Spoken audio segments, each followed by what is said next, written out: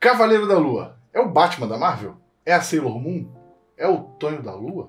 Nada disso. Cavaleiro da Lua é um personagem da Marvel criado em 1975 que tem como premissa ser um mercenário que ganha poderes especiais e místicos a partir de uma divindade do Egito Antigo. Seu principal alter ego é o Mark Spector, mas ele sofre de transtornos que resultam em diversas personalidades. E aí essas personalidades ocupam seu corpo né, e se comportam de maneira diferente. A série que estreou agora na Disney Plus, seu primeiro episódio nessa semana, ela já apresenta, né, já começa nesse sentido apresentando esse conceito. Mostrando muito essa troca de consciência que o personagem passa, só que ela começa com outro alter ego do personagem, que é o Steven Grant, né? E depois a gente vê o Mark Spector assumindo. E ela começa muito bem, mas ao mesmo tempo ela tem um probleminha que eu vou abordar já já. Mas assim, ela tem um começo bem promissor, como eu acabei de falar, e tem um início bem diferente do que a maioria das séries que a gente já viu da Marvel aí nessa leva do Disney Plus, pelo menos. Ela tem essa pegada meio de mistério, meio de terror e tudo mais, que aliás combina bastante com o personagem, todo o clima. Que afinal, lembrando, para quem não sabe também, o Cavaleiro da Lua estreou nos quadrinhos na, na série chamada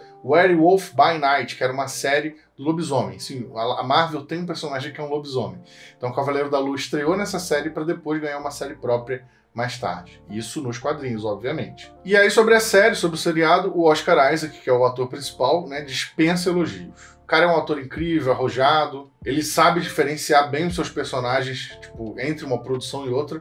Então isso é meio que fundamental para fazer um personagem como Cavaleiro da Lua. E pelo primeiro episódio dá para notar que vai ser uma série assim que vai ter pouca conexão com o resto do universo Marvel e vou ser bem sincero, eu acho que isso é até bom. Isso dá mais independência para a narrativa, dá liberdade para os criadores, né, o diretor, produtor, roteirista, criar o seu produto sem necessariamente ter que enfiar alguma coisa ali só porque o fanservice daquele universo manda. E em relação aos quadrinhos, dá para ver que tem muita referência a coisa bem recente aí que foi usada principalmente nas séries escritas pelo Brian Michael Bendis, pelo Jeff Lemire. E um desses exemplos é o visual do Khonshu, que é o deus egípcio que dá os poderes ao Mark. É, nessas séries mais recentes dos quadrinhos, ele tem esse visual meio né, de corvo, uma coisa meio sinistra, meio sombria, meio enigmática. Então, na série da TV, tá muito próximo disso, então dá para ver que a, a, a, fonte foi muito bem usada. Mas como eu falei mais cedo, né, tem alguns probleminhas aí nesse primeiro episódio que apesar de muito bom, ele é um pouco confuso para quem tá chegando agora. Obviamente a série